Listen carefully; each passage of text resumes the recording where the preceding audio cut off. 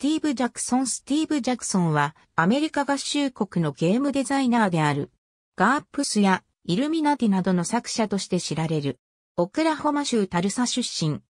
1974年にライス大学を卒業後、TRPG、ファンタジートリップや SF ウォーゲーム、オーガーなどのゲームを制作。これらはメタゲーミング社によって販売された。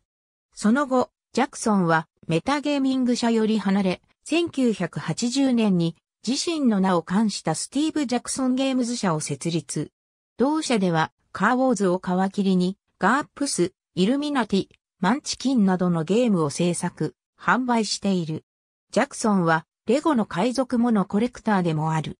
彼はそのコレクションによって遊べるミニチュア回線ゲーム、イービルスティービーの海賊ゲームを考案しており、時折ゲームコンベンションで大会を主催している。2005年、日本のゲームイベント JGC2005 にゲストとして招かれ来日した。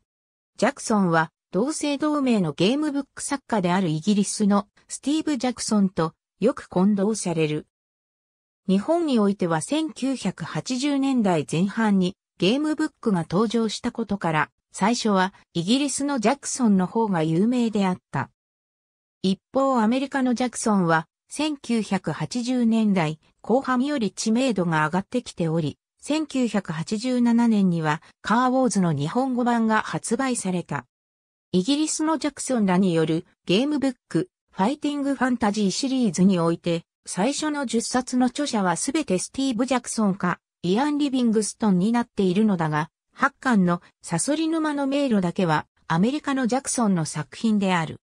だが、作品中のどこにもそのことが書かれていないため、発売された当時は多くの人がイギリスのジャクソンの作品であると思っていた。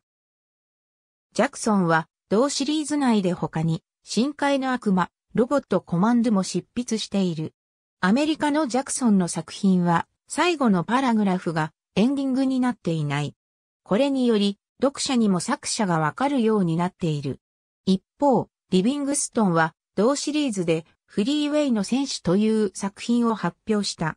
この作品は舞台や設定がカーウォーズと似ており、何らかの影響を受けていた可能性もある。ありがとうございます。